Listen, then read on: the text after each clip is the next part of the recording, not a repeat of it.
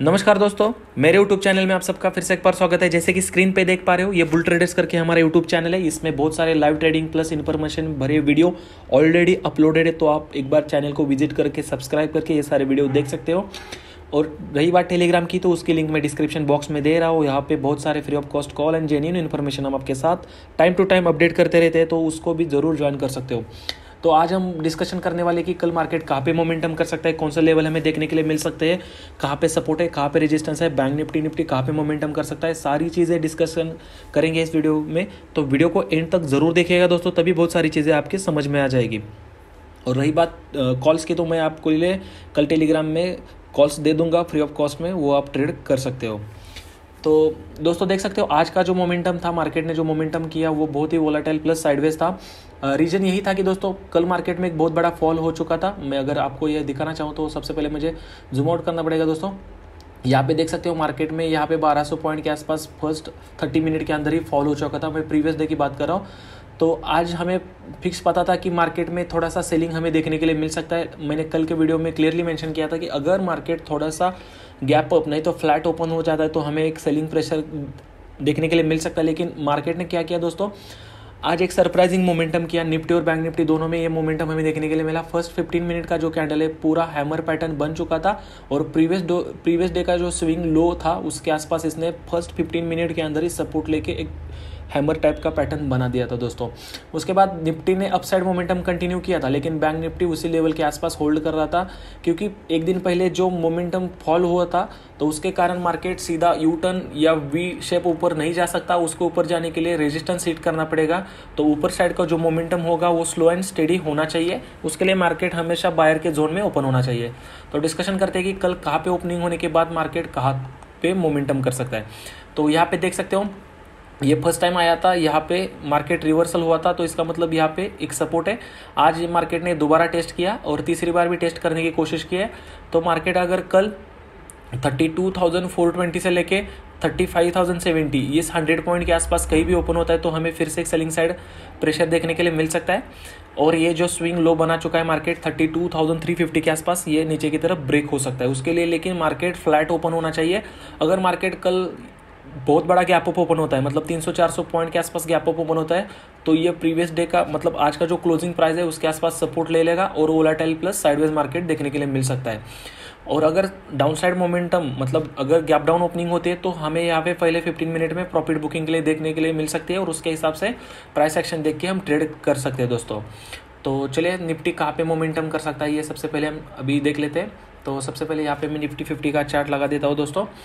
मैंने जैसे यहाँ पे आपको बताया कि बैंक निफ्टी होल्ड कर था, लेकिन निफ्टी फिफ्टी ऊपर की तरफ़ मोमेंटम उसने करना स्टार्ट कर दिया था। तो यहाँ पे देख सकते हो क्लियरली दिख रहा है कि फ़र्स्ट में 15 मिनट का कैंडल यहाँ पे सेम बनाया चुका है हैमर पैटर्न बना चुका है मार्केट और उसका जो हाई था, इसने ब्रेक किया था। लेकिन ये ब्रेकआउट फेल्यूर हो चुका था, लेकिन पूरे दिन अगर देखा जाए तो निफ्टी में कोई भी मोमेंटम हमें देखने के लिए नहीं मिला, ना डाउन साइड ना अप साइड तो ये विद इन रेंज पूरा मोमेंटम दिन भर मार्केट में रहा। तो कल निफ्टी कहाँ पे ओपन होने के बाद कहाँ पे जा सकता है? ध्यान से सुनिएगा दोस्तों। अगर लास्ट फिफ्टीन मिनट में हमने बैंक निफ्टी की मोमेंटम देखी तो वहाँ पे विद इन जोन थी। लेकिन निफ्टी की मोमेंटम देख सकते हो, ये जो सपोर्ट जोन मतलब ये जो बाहर का जोन है, उस के बाद ब्रेकआउट मिला है। दो कैंडल यहाँ पे ग्रीन देखने के लिए हमें मिल सकती है। लास्ट की दो कैंडल में स्ट्रॉन्ग बुलिश मोमेंटम था।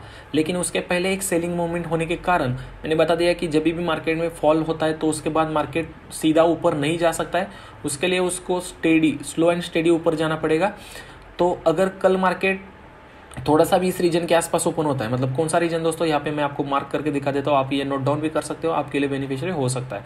तो कल अगर मार्केट यहाँ पे फ्लैट ओपन होता है मतलब फोर्टीन थाउज़ेंड सेवन हंड्रेड के आसपास अगर ओपन होता है fourteen thousand seven hundred seven sixty sorry six sixty के आसपास मतलब ये पचास से सिक्सटी पॉइंट के अंदर कहीं भी ओपन होता है तो हमें एक अपसाइड मोमेंटम देखने के लिए मिल सकता है, लेकिन ये ऊपर की तरफ़ पहला रेजिस्टेंस बन के आता है fourteen thousand seven hundred and sixty तो यहाँ पे हमें एक हंड्रेड पॉइंट की मोमेंटम ऊपर की तरफ़ देखने के लिए मिल सकती है। अगर ये लेवल हॉल्ट करता है फ़र्स्ट हाफ़ में तो हमें और अपसाइड मोमेंटम देखने के लिए मिल सकती है, लेकिन मैं फास्टली ऊपर की तरफ़ मोमेंटम नहीं एक्सपेक्ट कर रहा हूँ। अगर मार्केट को ऊपर जाना है तो स्लो एंड स्टेडी जाना पड़ेगा, तभी वो सस्टेन हो सकता है दोस्तों।